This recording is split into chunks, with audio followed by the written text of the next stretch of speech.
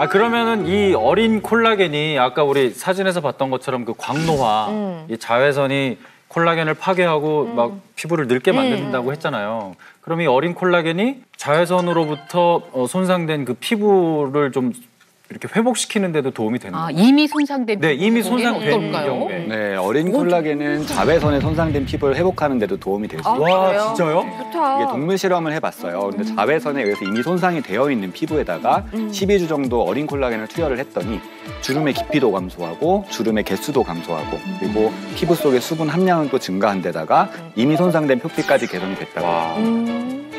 그러니까 이 콜라겐은 피부뿐만이 아니고 혈관에도 있다고 들었어요. 오, 네. 그렇죠? 그래요? 그러니까 한마디로 이 콜라겐이 혈관 건강에도 영향을 끼친다. 난 이렇게 주장하고 싶어요. 아유 주장 잘하셨습니다. 웬만해서는 주장을 내 안 하는 사람이. 어, 그렇게 혈관 건강에도 도움이 될 수 있는 거죠. 이 혈관 속에 콜라겐이 풍부해야 혈관 탄력이 유지되면서 적정 혈압을 잘 유지할 수 있게 되는데 체내 흡수율이 높은 이 어린 콜라겐은 네. 얼마나 더 많이 흡수가 잘 되겠습니까? 그러다 보니까 줄어든 콜라겐을 채우면서 혈관 건강에도 도움을 받을 수가 있는데요. 실제로 성인 32명한테 6개월 동안 아침 저녁으로 콜라겐을 먹게 한 결과 혈청의 지질 수준, 동맥 혈관 탄력 지수 등 혈관 건강이 유의하게 개선된 것을 확인할 수 있었던 겁니다. 이뿐만이 아닙니다. 관절과 관절 사이 완충 작용을 하는 연골 역시 콜라겐으로 이루어져 있는데요. 이렇게 어린 콜라겐을 섭취하면 관절염 완화에도 도움을 받을 수 있다고 합니다.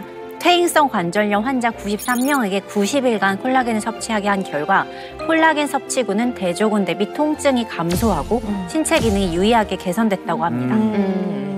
근데 이 콜라겐을 섭취할 때 우리가 또 뭐 주의해야 될 부분이 맞아요. 있나요? 그렇죠. 주의할 게 좀 있죠. 음. 어, 시중에 유통, 유통 되고 있는 콜라겐 제품 가운데에 네. 식품의약품안전처에서 건강기능식품으로 인정받은 콜라겐은 3.6%밖에 안 된다고 해요. 아. 따라서 섭취 전에 반드시 식약처에서 이 안전성, 기능성을 인정받은 제품인지 확인하시는 게 네, 좋겠고요. 네. 콜라겐 원료의 분자량이 작을수록 체내 흡수가 잘 되는 거니까 분자량 크기가 어떻게 되는지 확인해 보시는 것도 좋겠습니다. 어린 콜라겐 섭취 시에 식약처 일일 섭취 권장량 1650mg을 좀 준수하시고요. 임신부 또 특이 질환자 의사 선생님과 상의 후에 섭취하는 것을 권장드립니다.